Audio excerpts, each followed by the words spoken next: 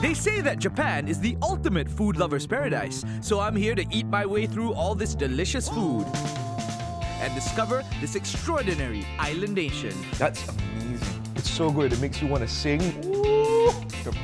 This is Best in the World Japan. Every Thursday, 10:30 p.m. only on 8TV.